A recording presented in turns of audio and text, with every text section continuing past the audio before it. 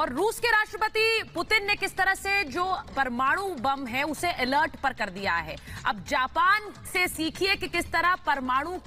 बम की कीमत हो सकती है क्योंकि उसने परमाणु बम झेला है दूसरे विश्व युद्ध में जापान पर परमाणु हमला हुआ था और 6 अगस्त 1945 में हिरोशिमा पर परमाणु बम गिराया था अमेरिका ने